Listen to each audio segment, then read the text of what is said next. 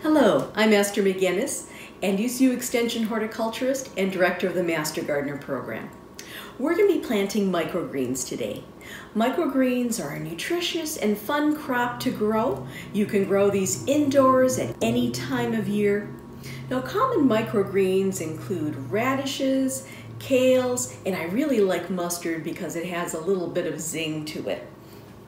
Now we're going to start off with a clean container. For food safety purposes, it must be clean. Now there are a lot of different containers you can use. I'm using an aluminum roasting pan today. It just needs to be deep enough to include about an inch, inch and a half of potting soil. So that brings me to my media. You don't use garden soil. Instead, you would use clean potting soil that you would find at the store. Now I have pre-moistened this to make it a little easier to work with. And I'm gonna fill this with about an inch, inch and a half of the potting soil.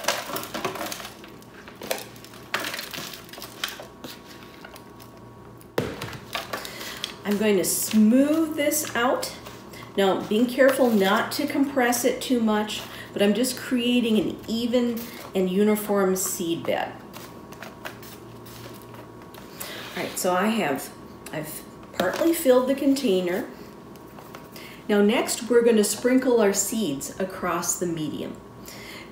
Now with our radish seeds, we are going to be uh, seeding at a rate of about eight seeds per square inch.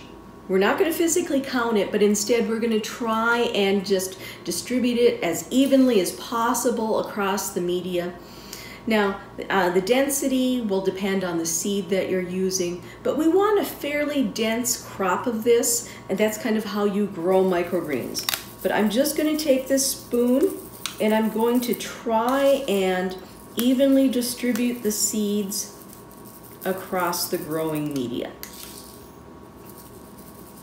So about eight, about eight seeds per square inch.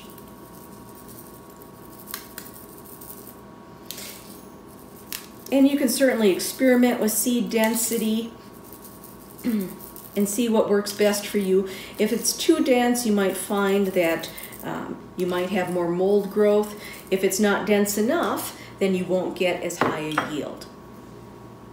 Now we don't cover the seeds with any potting soil. Instead, I'm going to take another roasting pan and I'm gently going to press those seeds into the potting soil um, without, without packing it down.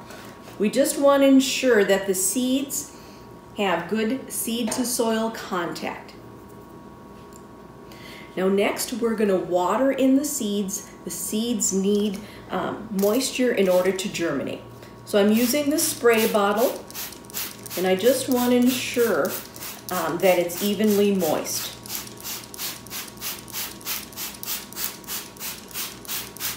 Now this process is a little bit easier because I used a pre-moistened uh, potting soil.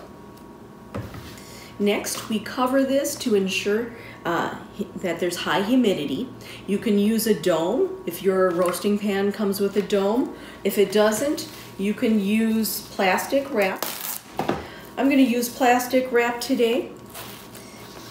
And I'm just going to completely cover this.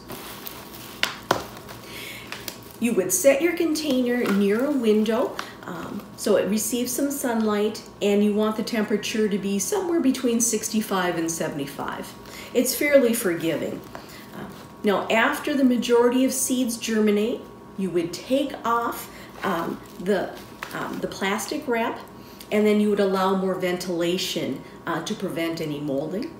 Uh, it, and then of course you'd have to check and make sure that the seedlings remain evenly moist.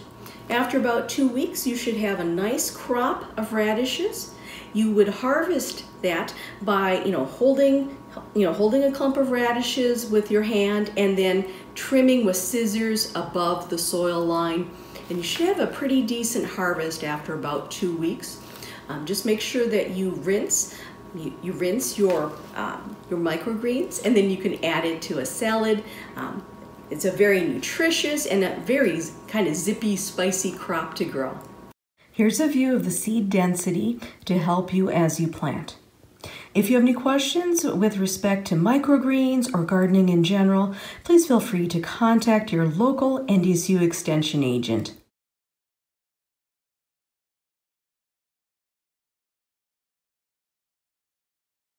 Música